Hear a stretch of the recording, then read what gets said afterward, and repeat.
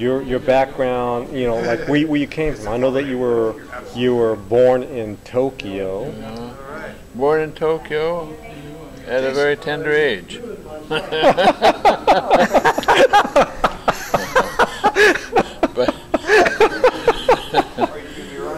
but I, I lived in Tokyo for uh, until I was ready for college. I came, went to I came over to the state for college. Right over college, here. And uh, Can I bring it to you, or? we our college was in Shanghai. So I mean, high school was a boarding high school in Shanghai. That's where I met her. Thank you again. And so we started going together. I was in the ninth grade and have never significantly dated anybody else. So just about Ninth to have grade. our 72nd anniversary. So, 72 years of being married, and how many years of being together? Uh, probably 80 some. 80 something years of being together. Wow. That's pretty amazing. Yeah, it was good. She's a wonderful. She was born in Shanghai. So, so, so, you, so you're Japanese and she's I'm Chinese. Yeah. See my slant eyes? when we went to the to the uh, Napa uh, courthouse to get a marriage license, uh, we were fighting China. I mean, we were on the Ja- Chinese side fighting Japan, and they noticed that she was married in Japan, born in China, and I was born in Japan. They said, "Well, are you going to be fighting then?" but uh, we've enjoyed it life.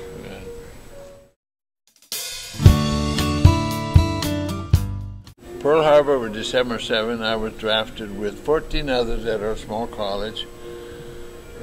And you know, on the one day they had a, a special service, uh chapel service for us when we went in there. And uh, I was a buck private, of course.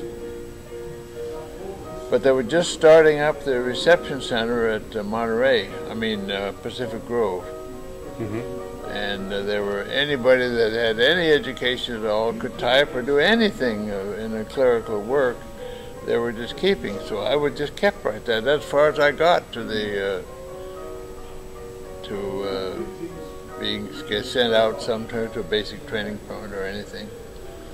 So, really was not a basic training that you went through. no never had a day of basic training but the big pretty after a few months the war started to get pretty tough and so i I had found out that from some of my buddies that I had known in Japan as a boy were doing this super, super secret work in Washington involving the Japanese language. So I got busy and got them to order me to go to Washington. So I went to Washington, and uh, by that time we were married and so we our first real real home was in Arlington, Virginia. And uh, You, you, you, you actually had rapid promotions. yeah, yeah, yeah. Went, went, went from buck private to buck private uh, to finally staff sergeant, then master sergeant. That that was a very nice. That was a nice rank to have. You don't get any guff from the officers or or uh, the enlisted men. I was anxious to get home at a certain time because she was pregnant with our first, oh, okay. and due about Christmas time. Mm-hmm. And I definitely wanted to get home, but I didn't quite make it in time. But I, and my uncle said, you know, if she's that near due, and you call her, she might get excited and and uh, may may make her go into labor. But I did anyway, and. Uh, And I went into labor. and she went into labor. She went into labor and had the baby. So I sent her a very brief telegram saying, This is "Con- great. "Congratulations."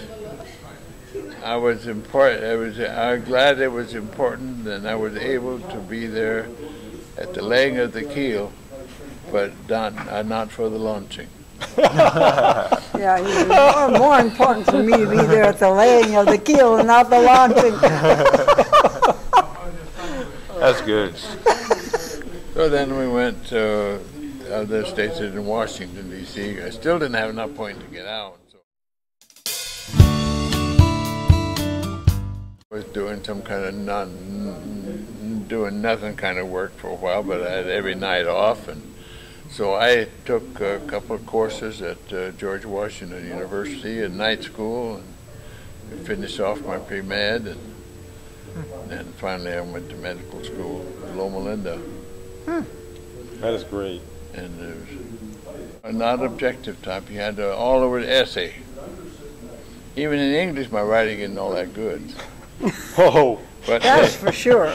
I was so glad when I passed. so so so in essence, uh, you have a a medical doctor's penmanship.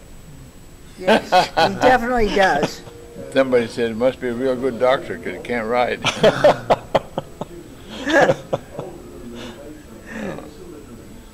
so, and by the way, uh, I don't know who did it, but somehow it was, it was even in the papers over here with it. I was in, the- in the L.A. Times Really? that I passed.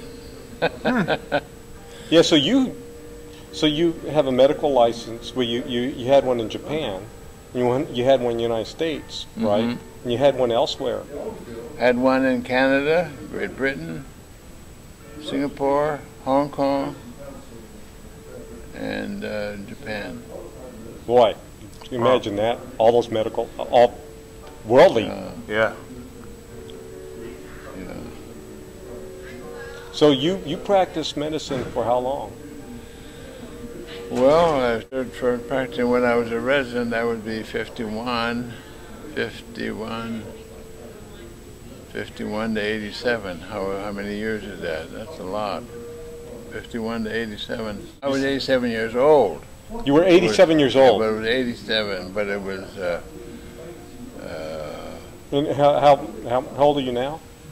I wa- I'm uh, 94. 94. So he practiced um, all the way to 87 years old. Yeah, So that's actually long time. that would that would be 2007. That's quite a long time. Yeah. Keep, keep me out of mischief. So would you say that was just keep going in terms of if, if, if, if you love your career, just keep going at it? Would that be I think it. I think it's important if you're doing something you like, and it's something that's it's rewarding, not from money wise, but from satisfaction. Maybe it's a little ego. mm-hmm. We all have a little ego, sure? and that has to be satisfied a little bit.